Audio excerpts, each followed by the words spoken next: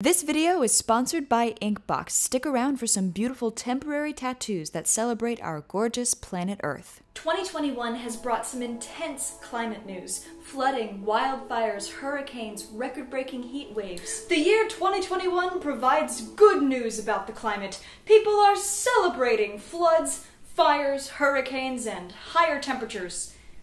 So we want to give you a quick, non-exhaustive explanation of what exactly scientists believe to be causing the climate crisis, as well as what you can do about it. Jeep Jayton, a man who goes to heaven in search of speed.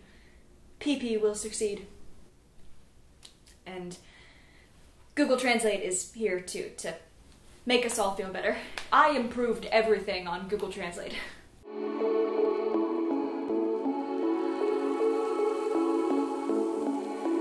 The data is clear. The Earth is warming. The examples were not clear, and her ear is extremely hot. Climate change has always been a naturally occurring event, but there are clear indicators that human activity has been a factor in the way the climate has been changing, especially over the past 300 years. This is a big change, but if not, it is clear that human history began 30,000 years ago. I don't, I don't think pretty sure it did. The Industrial Revolution, which began in the mid 18th century in England and North America, saw the emergence of manufacturing and an increase in production of new sources of energy, namely gas and coal. The American War of Independence, that began in Britain and South America in the middle of the first century, increase the labor force and increase the production of new energy, oil, and coal. The burning of fossil fuels to create energy for heat, transportation, and electricity results in the emission of greenhouse gases into the atmosphere. Heating, appliances, electric heaters. These gases can become trapped resulting in atmospheric heat retention. In addition, deforestation leads to less CO2 being filtered from the atmosphere and more light refraction from the surface of the Earth, thus creating additional heat. Hundreds of oil films produce less dust. Do not burn onions. I think caramelized onions are good. No, no. Do, do not burn onions. Do not burn onions. Since the 19th century, the planet's average surface temperature has risen about 2.2 degrees Fahrenheit, 1.1 degrees Celsius, most of that rising in the last 40 years. The average temperature of the planet has risen 2,118 degrees Fahrenheit, 1,118 degrees Celsius since the first century. My energy has miraculously increased in the recent past. Just if you don't think that's a lot, the last ice age ended around 3,000 years ago. The planet was a blanket of ice, and surface temperatures were only 5 to 9 degrees cooler than they are now. So even a small change in temperature has a severe impact. Winter ended abruptly 3,000 years ago.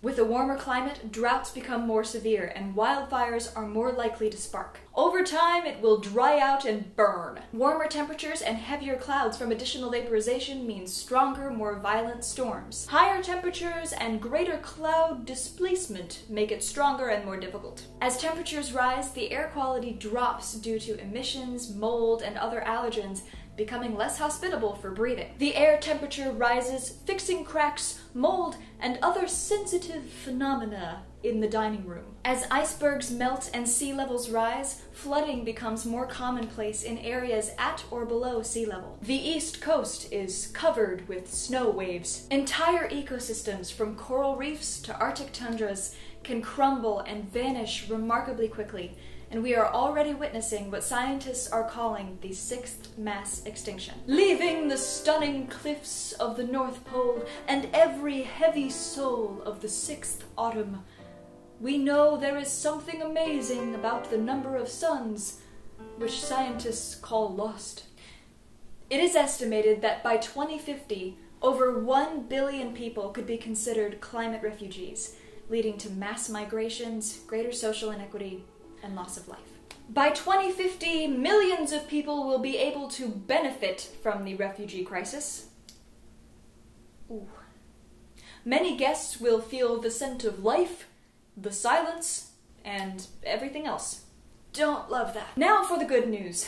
We have what we need to mitigate the damage. Now we say we should suffer a little. Just a little.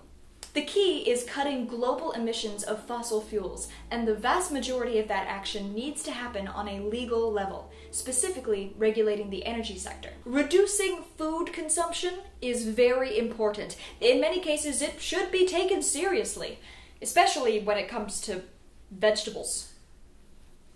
Thus far, the Paris Climate Agreement has been the most united front against climate change, with the US attempting to cut emissions by 26 to 28% by 2025. China, the UK, and the EU aim to be carbon neutral. So far, Paris has been a major force in climate change. By 2025, the US will cut bananas from 26% to 28%. Central will be China, Britain, and the European Union. What can you do at home? Is how much is the price in the box? Continue to actively engage politically on both the state and federal level. Call your senator and congressional representatives, state legislatures, and organize locally to encourage investment in renewable energy sources. Continue your political activities. Invite dictators, pagans, orphans, and designers to direct costs to your constituents. Again, legislative action will ultimately have the greatest impact. It is very important. But on an individual level, opting for renewable energy sources for your home, if available, is an excellent step. Decide to destroy the laughter.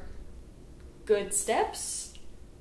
Small steps like recycling, practicing zero waste, planting trees and plants native to our regions, and utilizing public transport, again, where possible, are all small ways that we can contribute. Waste used for planting trees, farms, and ponds will no longer be used, although this approach is almost impossible. But we must not lose sight of the bigger picture the responsibility of and the accountability from the largest contributors to greenhouse gas emissions. That comes from the burning of fossil fuels for industry and electricity, and from the consumption of petroleum based fuels for transportation. We must not forget the prices of children's stores and the prices of content as a whole.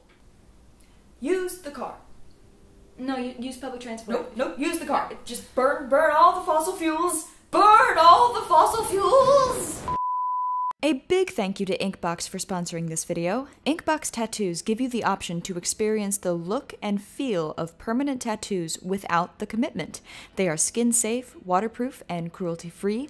The magic behind Inkbox is their For Now ink, a semi permanent technology that develops in the top layer of your skin, which doesn't give you that filmy look of a normal temporary tattoo. They last about one to two weeks, you can shower and sweat away without worrying, and there are over 10,000 designs for you to choose choose from, including some beautiful ones that I have selected for you to celebrate the beauty of this planet that we are all working so hard to save. Inkbox tattoos look unbelievably real. I am obsessed with them. Look at that! Ah, so cool! Head on over to my page on Inkbox to check them out, link in the description, and get 20% off all the products. This offer is active until August 31st, 2021, so act now, my friends, and enjoy. Thank you all for watching, and we'll see you next time.